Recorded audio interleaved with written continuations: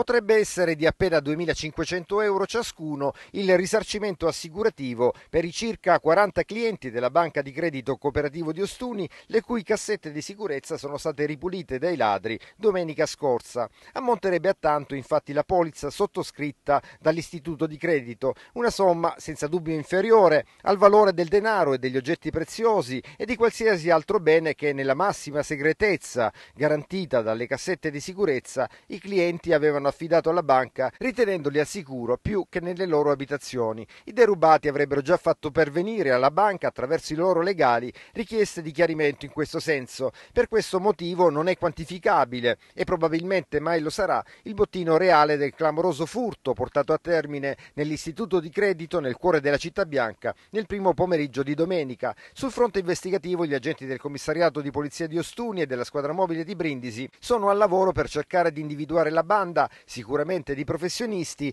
che è riuscita a penetrare nella banca praticando un foro nel muro dell'attiguo istituto scolastico privato e che poi, non riuscendo a forzare il cavò, ha ripiegato sulle cassette di sicurezza aprendole con un piede di porco. I ladri hanno oscurato alcune telecamere di videosorveglianza interne alla banca, ma gli investigatori stanno acquisendo i filmati di quelle esterne nel raggio di alcune centinaia di metri e poi allargando l'acquisizione a quelle più lontane, perché la banda fuggendo dallo stesso buco dal quale era entrata si è allontanata poi a piedi nella zona della villa comunale. Da chiarire anche il numero dei ladri, almeno due con il volto coperto, quelli che hanno agito all'interno, ma di sicuro c'era un complice ad attenderli in auto e forse un palo all'esterno dell'istituto di credito.